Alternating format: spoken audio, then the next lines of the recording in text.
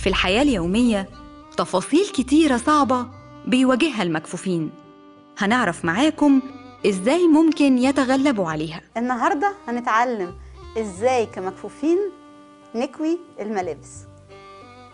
نكوي هدومنا أو نكوي الهدوم بتاعت أسرتنا ويبقى لينا دور جوه الأسرة. أو ممكن نفتح مشروع صغير محل مكواجي في شوية قواعد كده هنتفق عليها قبل ما نبتدي آه، نتعلم إزاي هنكوي.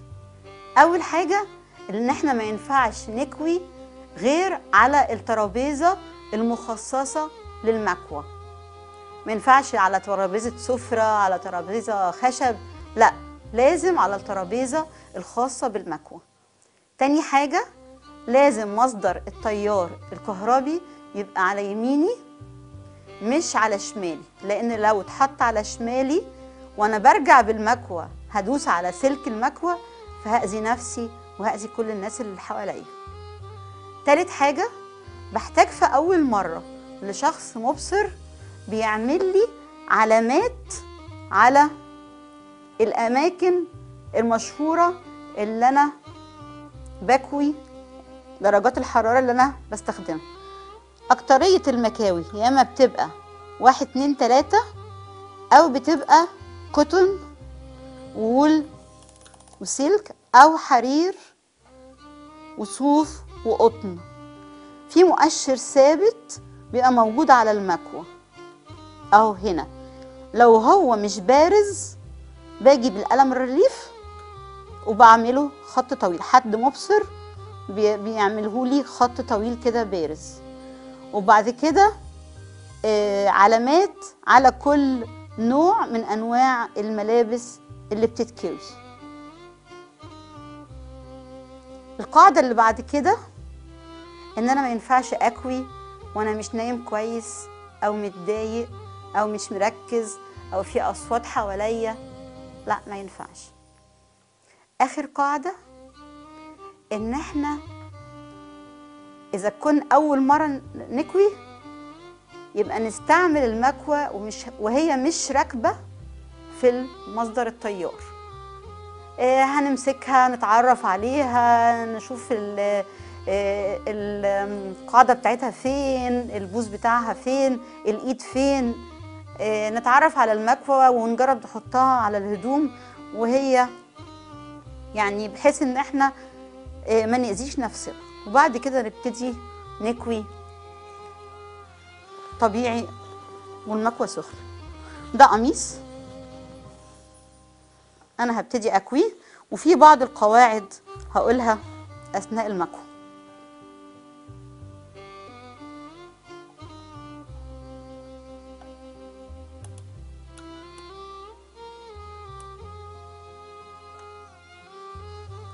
أول حاجة هكوي الياقه ياقه القميص وش؟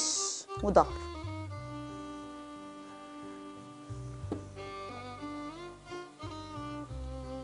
طبعا بكوي في اتجاه واحد. لو لو كويت رايح جاي اللي أنا بكويه وأنا راجع هكسره.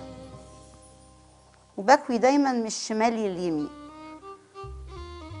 ممكن أكتر من مرة مش مشكلة. لما آجي أخلص الحتة اللي عملتها هيبقى عندي حل من الاتنين. يا إما أحط المكوى واقفة على القاعدة الخلفية بتاعتها أو أحطها على الجزء المعدني اللي موجود في آخر الترابيزة.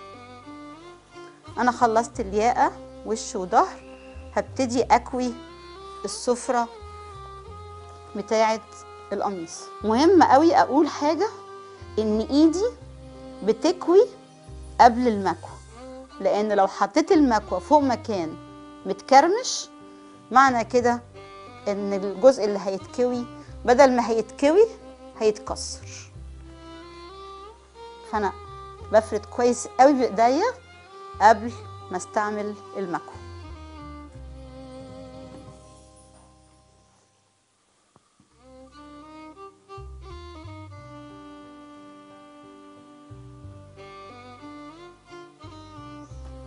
الجزء اللي كويته من السفرة. كل جزء هيتكوي. هجيبه ناحيتي وهلف عشان أجيب الجزء اللي لسه ما اتكواش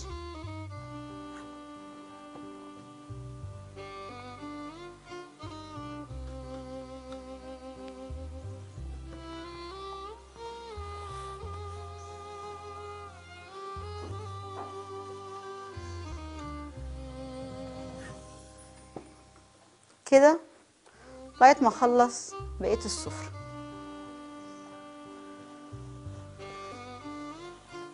بعد كده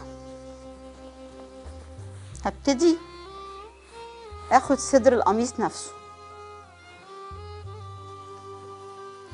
صدر القميص في الناحية اللي في إيديا هي الناحية اللي فيها الزراير. فأنا هخلي بالي إن أنا هكوي آه بالطول من الشمال لليمين زي ما إحنا قلنا قبل كده بس هاجي مش هدوس على الزراير. أنا هدخل بالمكوى بين الزراير وبعضها. ليه؟ لأن الزراير بلاستيك لو أنا دوست عليها بالمكوى هتبوظ.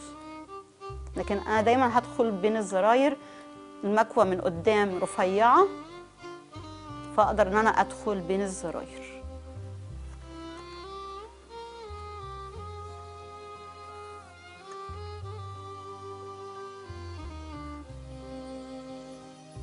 خلصت الجزء ده هبتدي أوديه في الناحية المعاكسة ليا وأجيب الجزء اللي لسه ما اتكواش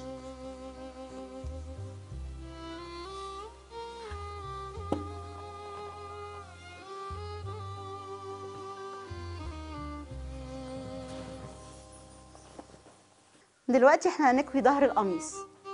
وبرضو باخد اهوت من الشمال لليمين. إيديا الشمال بعد ما الجزء بيتكوي بتأكد إن هو اتكوى كويس. لو احتاج إن أنا أكويه تاني يعني آخد دور كمان بالمكوى بعمل كده. وبكمل لغاية لما أطلع على الصدر التاني.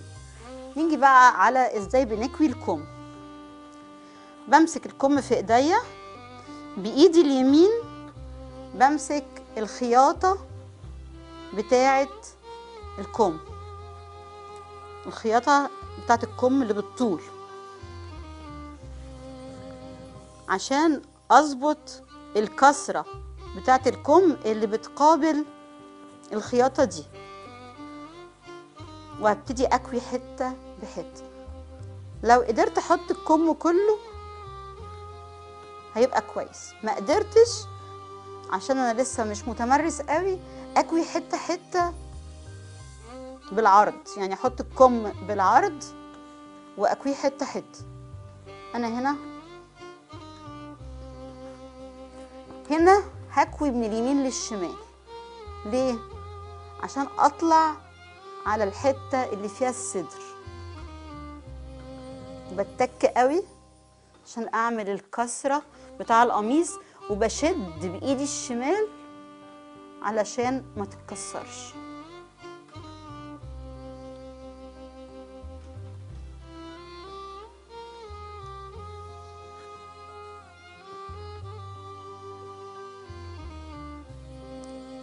بقيت الكم عادي؟ هكويه عادي خالص. من الشمال لليمين.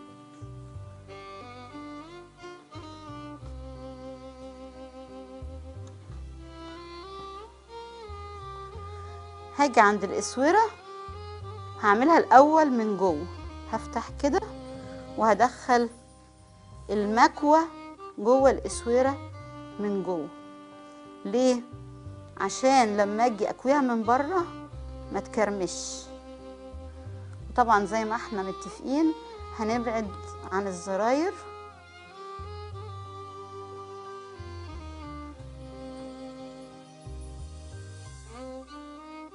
لو القميص فيه كشكشات قبل الاسوره هنعملها كده. هنحط آخر جزء في الكم بالعرض وهبتدي ببوز المكوى أدخل في الكسرات دي.